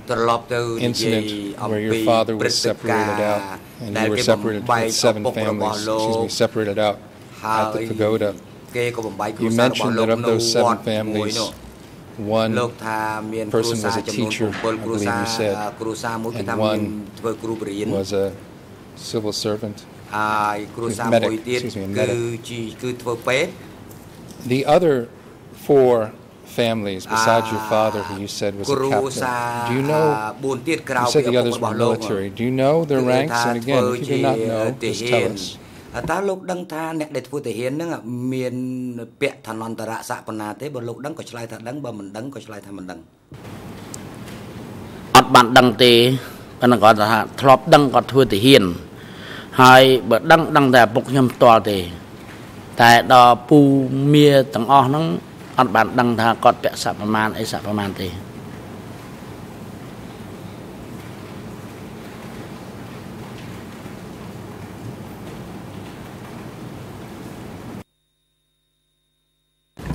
អ sir after you survived this massacre you said your លោក លាប់នេះលោកឆ្លើយថាប្អូនស្រីរបស់លោកស្លាប់លោកអាចជម្រាបជូនតុលាការបានទេប្អូនស្រីរបស់លោកស្លាប់នៅពេលណាអឺជំរាបជូនបាន តែខ្ញុំក៏ជំរាបថាអាការកើតជំងឺហ្នឹងគឺដោយសារការវាយនឹងដំបងគាត់ចេះតែឈឺក្បាលរហូត គាត់ចូលរៀនគាត់ចូលរៀនគ្រូនៅ ក្រុងតាខ្មៅនេះអឺគាត់រៀនអត់កើតបានមួយអាទិត្យពីរអាទិត្យហ្នឹងចាប់ផ្ដើមឈឺក្បាលម្ដងរហូតដល់ពេលរៀនគ្រូចប់ ទៅធ្វើការទៅទៅបង្ហាត់វិញរហូតដល់គាត់មានរោគសរសៃប្រសាទរោគសរសៃប្រសាទរហូតដល់គាត់ចងកសម្រាប់ខ្លួនដោយខ្លួនឯង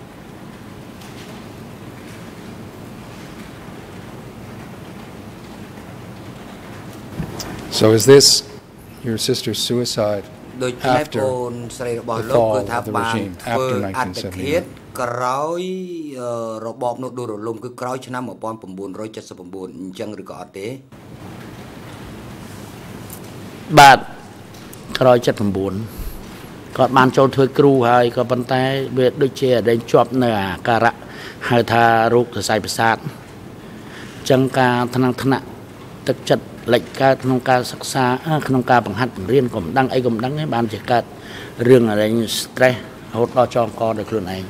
ស្លាប់ទៅ Can we get the date Mr Witness លោកសាក់សីលោកអាចប្រាប់កាលបរិច្ឆេទនៃការចងកនេះបានទេ Of your sister's death This is what the prosecutor was asking when គឺជាអ្វីដែល លោកថាបញ្ញាសួរទៅលោកថាប្អូនស្រីរបស់លោកហ្នឹងបានស្លាប់នៅពេលណាបាទខ្ញុំគ្រាន់គិតថាប្អូនស្រីខ្ញុំស្លាប់រហូតមកដល់ថ្ងៃនេះគឺ3ឆ្នាំហើយ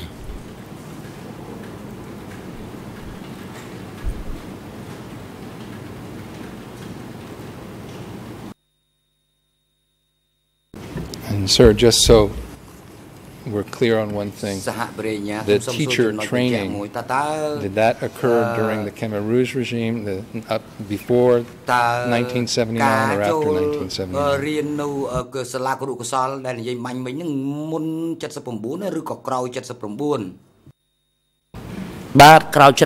ញ្ចឹងខ្ញុំគាត់លើកថាដែលគាត់គាត់ជាប់អាប្រវត្តិគេវាយក្បាលហ្នឹងមកហើយបានធ្លាក់មកដល់អដែងកើតអារូបសរសៃប្រសាទហ្នឹងរៀនចប់ រៀនអដែងគ្រូចប់ហើយមកបង្ហាត់នៅអដែងអនុវិទ្យាល័យហើយតែដល់ពេលគាត់មានអាការៈហ្នឹងជាប់ខ្លួនរហូតដល់មានបញ្ហាដល់ចងកសម្រាប់ខ្លួនហ្នឹងក្រោយ79ហើយអញ្ចឹងរាប់ទៅថាគាត់ស្លាប់3ឆ្នាំហើយអញ្ចឹងវាមិនក្រោយ79ទល់ថ្ងៃនេះស្លាប់បាន3ឆ្នាំហើយ understand. Sir, once you survived this massacre and you were taken to a commune, ដែលលោករស់រស់រៀនមានជីវិតពីការសម្លាប់នោះគេឲ្យលោកវិលត្រឡប់ទៅឃុំរបស់លោកតើគេមានស្រង់ប្រវត្តិរូបលោកទេ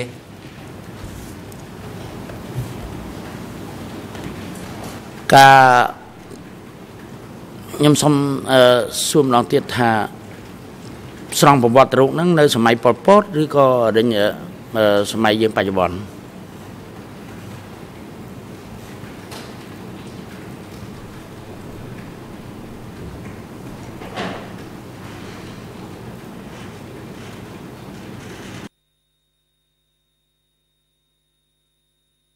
I'm sorry, I didn't, I didn't understand the interpreter. I just missed a word. I didn't understand the witness's question to me. So perhaps, sir, let me repeat my question, because obviously my question was not clear.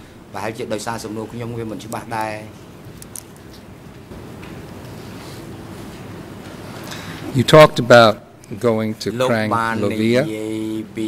to a cooperative. Is that correct? បាទត្រឹមត្រូវ In that cooperative were you asked to make a biography Did anyone ask you about your biography គេមានឲ្យលោក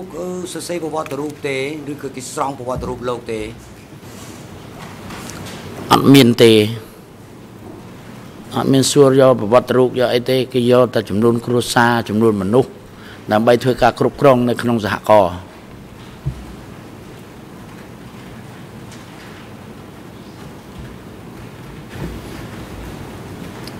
at that cooperative, were the other people there all local people, or were they people who had been come from different areas like you have? សុទ្ធតែជាប្រជាជនមូលដ្ឋានឬក៏ជាប្រជាជនដែលចេញទៅពីកន្លែងផ្សេងដូចលោកដែរបាទនៅក្នុងសហគមន៍ហ្នឹងគឺវាមានមូលដ្ឋានចាស់និងមូលដ្ឋានថ្មីចឹងហើយមូលដ្ឋានចាស់ហ្នឹងតិចទេ តែមូលដ្ឋានថ្មីដែលទៅជ្រកកោនជាមួយមូលដ្ឋានចាស់ហ្នឹងវាច្រើន បាទក្រោយពេលយើងបែកឆ្នាំ75ទៅហ្នឹងគឺគេយកទៅនៅជ្រកជាមួយអដែងក្រុមមូលដ្ឋានចាស់ហ្នឹងតាមបណ្ដាឃុំនីមួយៗហ្នឹងគឺច្រើនច្រើនណាស់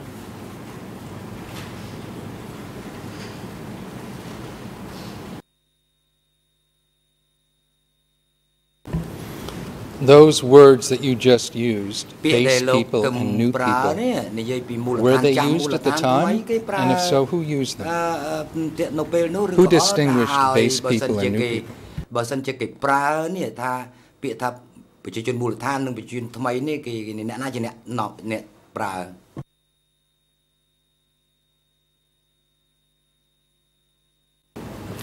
បើនិយាយទៅវា និយាយជាទូទៅត្មងនៅតាមសហគមន៍គេច្រើនអដេញជាគោលការណ៍ក៏មិនដឹងអីក៏មិនដឹងទេប៉ុន្តែគាត់ថាមូលដ្ឋានចាស់មូលដ្ឋានថ្មីហ្នឹងគឺវារត់មាត់ចឹងហ្មងហើយអឺពួកបែកទៅឆ្នាំ74 73 74ក៏ចូលអដេញមូលដ្ឋានចាស់របស់គេហើយតែដល់តែយើង75ទៅក្រោយគេនេះអាហ្នឹងគេដាក់ពួក7មេសាពួកមូលដ្ឋានថ្មីអាហ្នឹងពួកចលៀសគេហៅថាពួកចលៀស ពួកចលៀសហ្នឹងពួកពួកមូលដ្ឋានថ្មីហើយ So which were you considered ចុះលោកវិញស្ថិតនៅក្នុងប្រភេទណាមួយខ្ញុំស្ថិតនៅក្នុងប្រភេទដែលពួកចលៀសហ្នឹងហើយពួកមូលដ្ឋានថ្មីហ្នឹងហើយ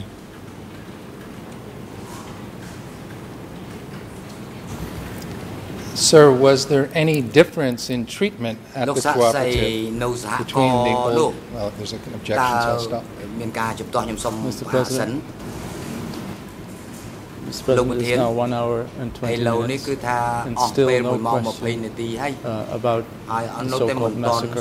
Um, please urge uh, you and Supreme Court Chamber to instruct uh, or ask or whatever the prosecutor to ask questions um, uh, to witness about this alleged Your Honors, first of all, the defense appeal is challenging all the convictions, including the uh, forced evacuation. Uh, the defense asked this question, this witness questions repeatedly this morning. So for over three hours, many of them repetitious about the massacre, he has told us in detail exactly ហាក់ព្រាញ្ញាដើម្បីកុំឲ្យខាត់ពេលវេលាដូច្នេះជំទាស់របស់មេធាវីមិញដូចជាមិនសមស្របទេហើយអញ្ចឹងសូមលោកអញ្ជើញបន្តសំណួរទៅទៀតបាទសូមអញ្ជើញដើម្បីចប់មកនឹ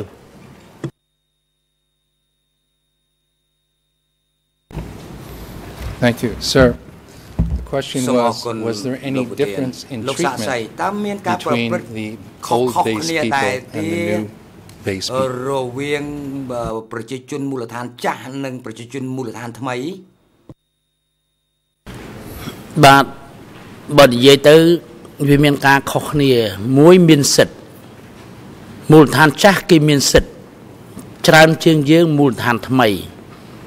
យើងមូលដ្ឋានថ្មី យើងអត់មានសិទ្ធដាំដុះតឡងឬអីសកូអីនៅតាមផ្ទះឲ្យទៅដកហូបអីអត់បានទេបាទបន្លែបកាអីដាំនៅតាមផ្ទះដកហូបអត់បានទេបានត្រឹមដាំហើយយកទៅដាក់សហករណ៍តែដល់បងប្អូនមូលដ្ឋានចាស់គេដាក់សហករណ៍ខ្លះគេទុកចិញ្ចឹមគ្រួសារគេនៅខាងក្រៅខ្លះបានបាទសិទ្ធិវាខុសគ្នាអញ្ចឹងហើយការធ្វើការងារក៏ចឹងដែរ ការធ្វើការងារគឺគេគ្រប់គ្រងលើយើងហ្មងបាទមនុស្សចាស់គ្រប់គ្រងមនុស្សចាស់ដែលជាប្រជាជនថ្មីក្មេងគ្រប់គ្រងក្មេងដែលជាប្រជាជនថ្មីអឺមូលដ្ឋានថ្មីមូលដ្ឋានចាស់គ្រប់គ្រងលើមូលដ្ឋានថ្មី ទាំងក្មេងទាំងចាស់អញ្ចឹងបានថាសិទ្ធវាអត់វាអត់ដូចគ្នាទេ សិទ្ធមូលដ្ឋានចាស់គេធំទលំទលាជាង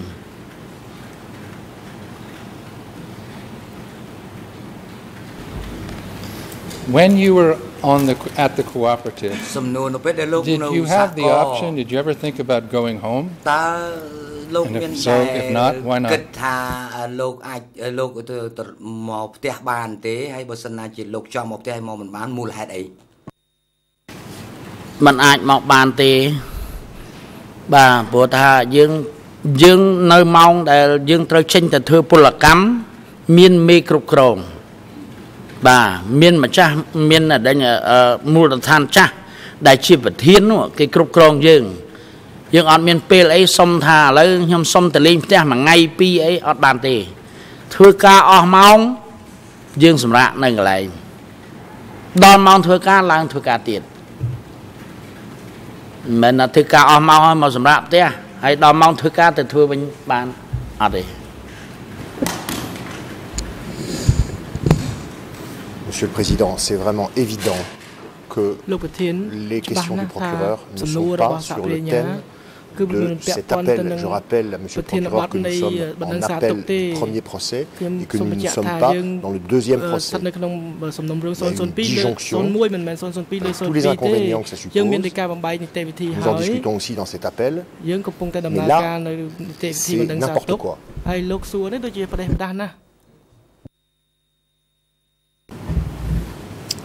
Your Honor, as the defense counsel knows, I'm cer- certain part of the basis of the convictions in this case was a joint criminal enterprise and various policies, including, uh, cooperatives where enslavement was practiced was part of the joint criminal enterprise. So I think I should be allowed to ask questions about cooperatives and about the treatment of different people, and I'm about to get into later the treatment of enemies. Mr. President, the prosecution is making a mockery of this, of this appeal. It is disgraceful what has happened. Please intervene.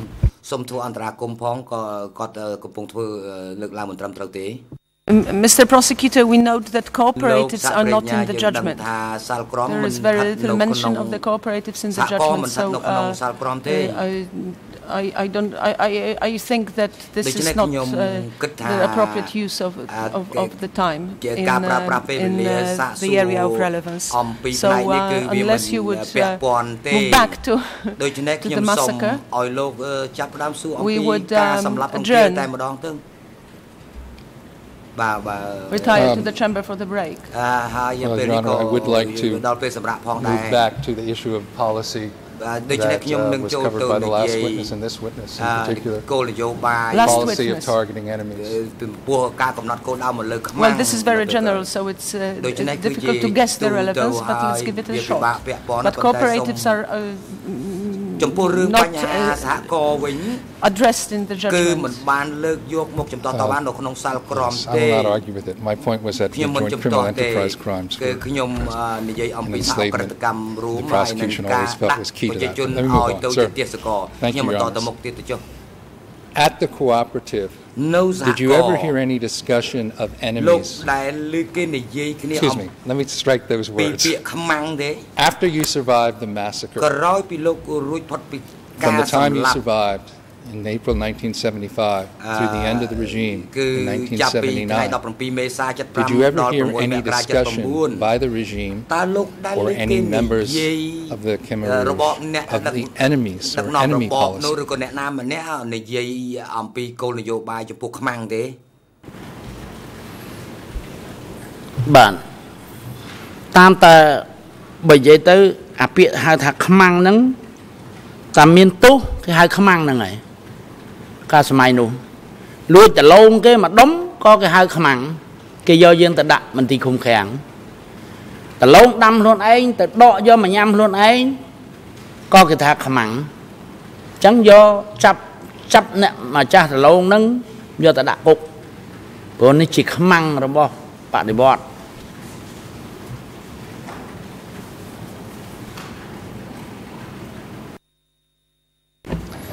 After you survived the massacre, did you ever encounter any instances where you witnessed the regime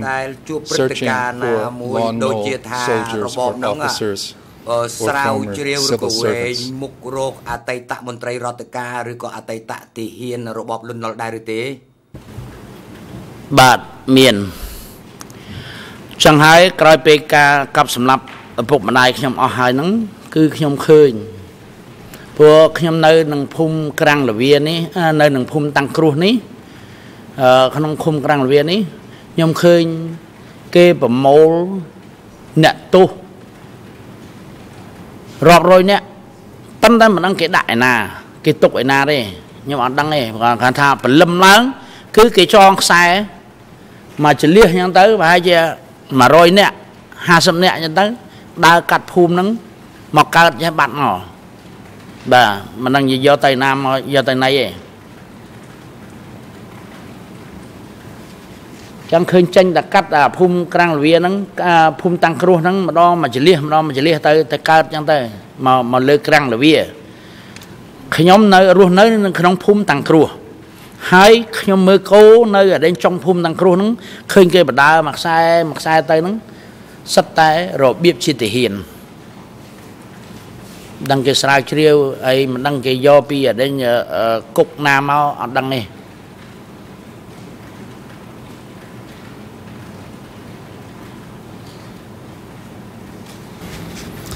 Your honors I would just if your honors want to at the break you may wish to refer on the judgment paragraph 615 is entitled refashioning in the cooperatives. I just wanted to bring that to your honor's attention. but Mr. Witness the incident that you just spoke about can you tell us what year that occurred? If, again, if you don't know, don't guess, but just if you know or if you could estimate. ឬក៏លោកអាចគ្រាន់តែថាប្រាប់ចំ If you do not know the answer បើមិនដឹងចម្លើយទេ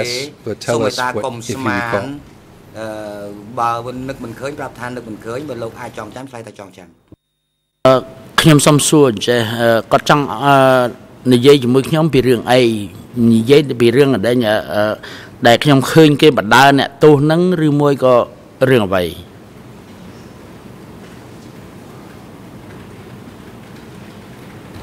Yes sir that's correct ត្រឹមត្រូវហើយខ្ញុំសួរនិយាយអំពីការបណ្ដាអ្នកទោសនេះបាទការឃើញបណ្ដាអ្នកទោសទាំងខ្សែទាំងខ្សែនេះគឺខ្ញុំឃើញដោយពិតនឹងភ្នែកព្រព្រោះនៅនៅពេលនោះគឺខ្ញុំនៅដេញនៅខ្វៀលគោនៅតាមនៅតាមស្រែហើយមានចំការមានមួយហ្នឹងខ្ញុំទៅច្រកនៅចំការមានហ្នឹងហើយខ្ញុំឃើញគេបណ្ដាកាត់ហ្នឹងតាំងខ្សែតាំងខ្សែពិតប្រកបមែន របៀបជាអ្នកទោសចងខ្សែចងដៃបតោងគ្នារហូតបដាក់គ្នារហូតម្ដង50 60នាក់ទៅជួនកាលឃើញខ្សែនឹងវាវែងទៅ50 60នាក់ទៅជួនកាលឃើញ30 40នាក់អញ្ចឹងទៅចងជាខ្សែជាខ្សែបណ្ដើប៉ុន្តែមិនដឹងយកទៅណាបណ្ដើពីលិចទៅកើត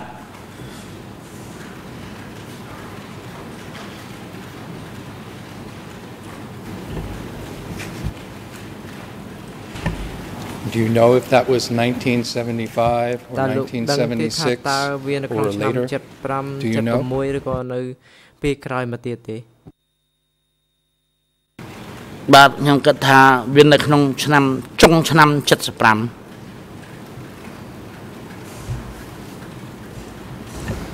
The people that you saw tied up what was their gender were they men women or mixed ចងនឹងថាតើ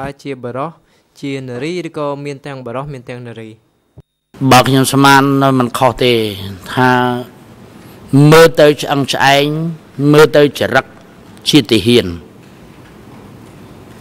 សម័យលន់ណុល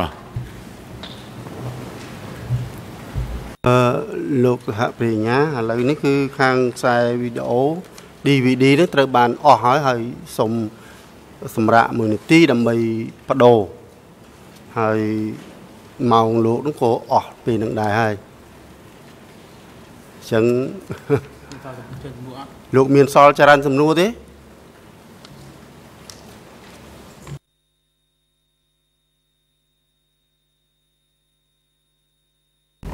Man, I just have one moment. My colleague was talking to me, but I couldn't hear. Confirm with my colleague. លោកប្រធានបាញ់ទេសាសហការីគាត់ទៅជេរជាមួយខ្ញុំខ្ញុំស្ដាប់អត់ទាន់បានសុំពេលបន្តិចលោកប្រធាន Your Honors, I believe that I can finish quickly after covering a little bit more details about this incident that he's now speaking about. We are really not interested in this incident. Please use your last few minutes asking this witness questions about the massacre, Mr. Prosecution. មិនចាប់អារម្មណ៍ជាមួយហេតុការណ៍ដែលលោកនិយាយនេះទេដូច្នេះសូមលោកប្រើពេលវេលាដែលនៅសារបន្តិចបន្តួចនិយាយទៅលើការសម្លាប់រង្គាលនោះតែម្ដងទៅ។